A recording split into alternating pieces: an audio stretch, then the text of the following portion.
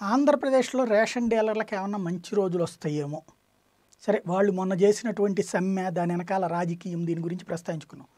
తప్పు చేసినప్పుడు తప్పనే ప్రస్తావించుకోవాలి మంచి చేసేటప్పుడు మంచి అంతకుముందు వాళ్ళ ప్రాబ్లమ్స్ వచ్చినప్పుడు మనమే పోస్ట్ చేసాం అప్పుడు ప్రభుత్వం కూడా పాజిటివ్గానే స్పందించినటువంటి విషయం కూడా గుర్తుండే ఉంటుంది. ప్రతిసారి అక్కడ తప్పు ఉన్నప్పుడు తప్పుగానే మాట్లాడుకోవాలి. ఇప్పుడు ఆంధ్రానే కాదు దేశవ్యాప్తంగా రేషన్ డీలర్లకి ఒక మంచి రోజుకు అవకాశం ఉంది ఏంటంటే ఈ one nation one ration card.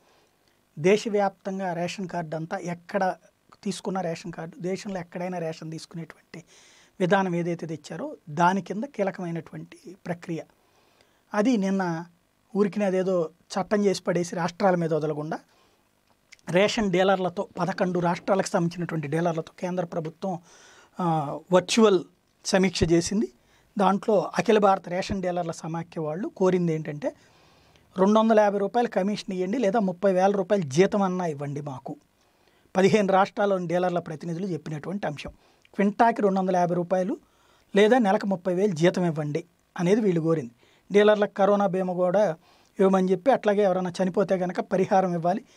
బస్తాల్లో తరుగు లేకుండా పకడ్బందీగా చూడాలన్నట్టు ఇప్పుడు వీళ్ళకి వచ్చినటువంటి ఒక ప్రాబ్లం ఏంటంటే మెయిన్ గోడౌన్ నుంచి వీళ్ళ దగ్గరకు వచ్చేటప్పటికి సరే రాలితే ఎంత రాలాలి? ఓ యాభై గ్రాములు వంద గ్రాములు రాలాలి. అసలు ఒకదాని మీద ఒకటి వేసినప్పుడు రాలవు. సరే పోనీ రాలుతాయి అనుకుందాం. మధ్యలో చిన్న చిన్న బొక్కలు ఉంటాయి వాటికి అనేటువంటిది. ఓ యాభై గ్రాములు వంద గ్రాములు అట్లా. కానీ ఐదు నుండి పది కిలోలు పోతుంటాయి. అది పోతుంటాయి అనే కంటే లేపేస్తుంటారు. ఈ అమ్ముకునే దాంట్లో లారీ డ్రైవర్లు ఉంటారు. లేదా సివిల్ సప్లైస్ వాళ్ళు ఉంటారు. ఇదొక పెద్ద కుంభకోణం. అది రూపాయి పావలాలు గెలిపితే పెట్రోల్ బంకుల్లో కనుక రోజుకో రెండు వేలు మూడు వేల రూపాయలు సంపాదించుకుని ఎట్లా డిస్ట్రిబ్యూట్ చేసుకుంటారు అట్లాంటిదే ఈ కథ కూడా. ఇప్పుడు దానికి సంబంధించినటువంటి కీలకమైనటువంటి అంశం వాళ్ళకి ఇబ్బంది అవుతున్నది కాబట్టి అది అడిగారు.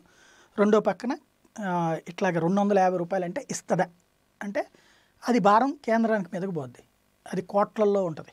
మరి రెండు వందల యాభై అన్నప్పుడు కనీసం వంద అన్న ఇస్తారా నూట యాభై అన్న ఇస్తారా అనేటువంటిది ప్రస్తుతం. ఎందుకంటే ప్రస్తుతం కేజీకి వస్తున్నటువంటి వాటితో పోల్చుకుంటే వీళ్ళు అడిగిన దాంట్లో కొంత రీజనబుల్ ఉంది. బట్ అట్లని మరీ ఎక్కువ చేస్తా ఓ యాభై రూపాయలు గతంతో పోల్చుకుంటే ఎక్కువ చేయడానికి అవకాశం ఉంది. కానీ ముప్పై వేల రూపాయల నెలకు అనేటువంటి సిస్టమ్ అయితే కనుక కాంపిటీషన్ కూడా పెరుగుతుంది. ఇప్పుడు ముప్పై వేలు అంటే ఒక సాఫ్ట్వేర్ ఇంజనీర్ ఇన్కమ్ దాదాపు ఇప్పుడు కొత్తగా వస్తున్నటువంటి సాఫ్ట్వేర్ ఇంజనీర్లకి అలాంటినే అప్పుడే అదే ముప్పై వేలు ఇస్తున్నారంటే అందరూ సాఫ్ట్వేర్ వాళ్ళు కూడా వచ్చేస్తారు.